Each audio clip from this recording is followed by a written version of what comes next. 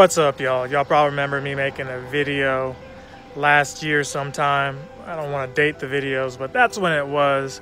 And essentially, it was about my AC unit. I didn't realize at the time that my AC unit was a combo AC and furnace. Having natural gas, I needed to figure out the difference between what the gas does for water and what the gas does for my heat.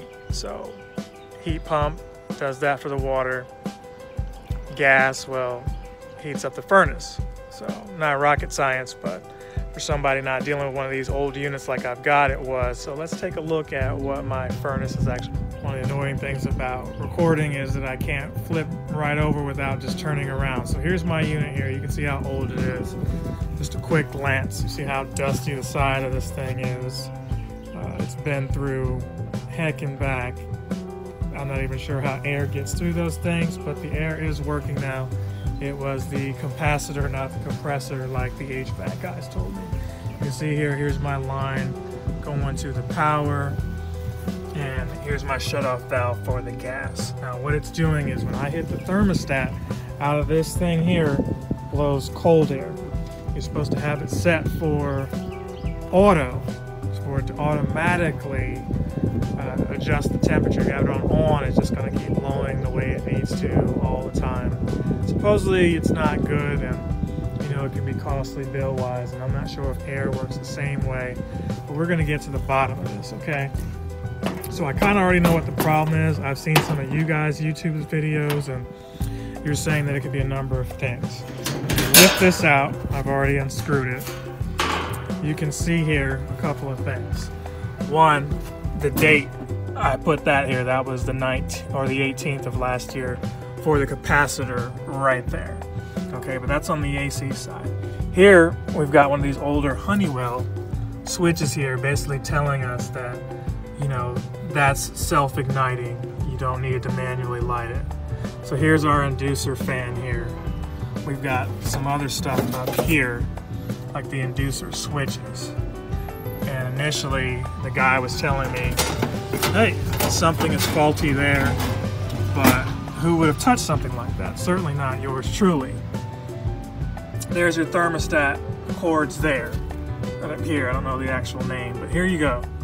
You have your inducer fan which turns on, which then sends a signal to uh, your pilot to light the gas line, which then has those burners lights up. Burners aren't lighting up for me.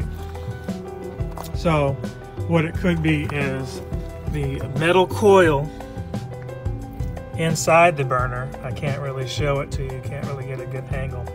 But maybe underneath there, we can see it. Oh, blurry finger. Underneath there is that metal coil, if you can see right there. That metal coil, what it does, get my fingers out of the way, sorry about that. I'll try to be more professional in other videos. Uh, but what that does is that that allows the uh, flame to go. If that's damaged or dirty, corroded, whatever, uh, it won't light. Or maybe it'll light and then cut back off. Um, for those of you with a keen eye, you might also say, well, what about your flame sensor? Flame sensor would also cause that same problem. But if the uh, igniter switch, which I'm not really sure I could show you that either. You see that gray panel there? You would have to un unbolt that. And I believe that's where the switch was. You'd have to remove that. So to watching several videos on YouTube, I was just saying to myself, that's probably my problem. That's why it's not lighting up. Let's get to that point. HVAC guy got here. He wanted to argue with me because I guess I came off as a know-it-all. A lot of times people don't do their own research and they just pay these guys lots of money. And don't get me wrong, warning labels are there for a reason. Electrical shock, hazard, so they get paid what they get paid because of that. But what you have to know, myself as an engineer, is how do these things work so that in the future I'm not handing out hundreds of dollars for something that I could have fixed myself. So we've got the fuse out as you can see up here. And you see these uh, cords here. What are those for? Are these, these hoses? Well, those of you with the keen eye, you saw that my hose coming up here is missing. And that's because of what happened here. Uh, the guy was telling me, hey, it's my uh, inducer control here. And I'm like, uh, okay. And he's like, that's going to be 1200 bucks. I'm like, well, how about we start out with the igniter and then go from there because that's what I believe it was. He didn't want to hear that because he's a professional, he knows what he's doing, yada yada. But after getting out his digital multimeter, I figured out, hey, that's not the problem. So even though this unit is older and he didn't want to deal with it, I'm like, look, buddy, you already paid to come out here. Shout out to Groupon. Maybe that's why he was irritated and having a bad day. 25 bucks to come clean my unit, do a little tune-up. So I don't even think they checked the fans or anything like that, but he said he sprayed some kind of some kind of stuff that I don't know. I'm seeing styrofoam there. I'm not sure what he sprayed there, but it's pretty brittle. But he claims he did it. I didn't see him do it, so I can't say he did. But uh, long and short of it, AC is fine like it should be. That's really what I need this time of year.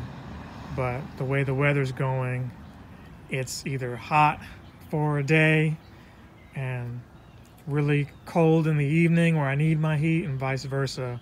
It's been that way for weeks now. So in the middle of May, or I'm sorry, in the middle of the end of April going into May, uh, I'm expecting in May to not really need the heat, but you just never really know. You don't want to wake up and have a freeze warning like I did the other week. And I'm like, it was just 80 degrees yesterday. But rambling aside, I've got the fuse pulled. What it turned out to be is one of these hoses. These hoses to the gas line, if they get contaminated, get debris in them, guess what? Gas isn't going to run, and if it does, it's going to be for a couple of seconds before the unit doesn't want to, you know, oversaturate it with gas and turns itself off. So that's what was evidently happening to mine. Me scared of these flames and everything. I really didn't want to mess with it at all. But here we are. We are going to mess with it what those HVAC guys did was point out what they thought was wrong with how my unit was set up. And I'm like, hey, it's working, right? That's all I can do before I replace this thing is keep it working as long as I can because like most of us don't have that kind of money sitting around. And uh, I should have insurance on something like this, but we'll get to that in another video. Long and short, he replaced mine with this plastic thing here. Well, newsflash, while that may fit plastic itself is going to do what you see it do here, and that's burn out. And, uh, well, not burn out, but melt.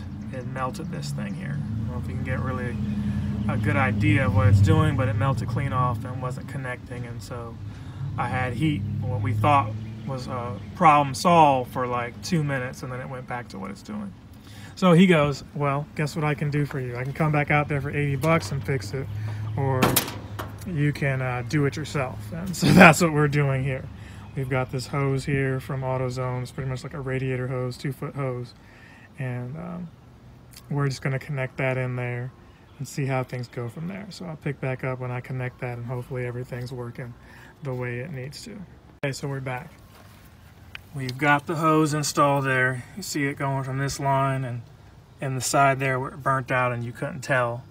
Um, I'm about to go ahead and put our fuse back in here. So here we go. You always want to pull this because what'll happen is if you don't, you're going to end up having a problem. So I've went ahead and put that back in there.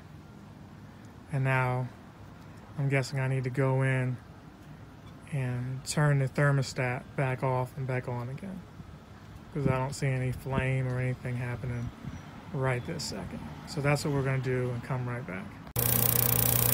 It would also help if I put it in the right way. And you hear that little spark sound, that's our igniter trying to fire up. So any second now, I'm imagining we would see it there she blows. If I can zoom in this a little more, you can see it. There's all three of them happening there. I'm going to head back in the house and see if we can feel any heat. But hopefully that's what the problem was and we don't have any more issues. If this worked for you, let me know. Uh, if not, let me know what did work for you and if you have a similar, similar unit to mine. Captain Sensation!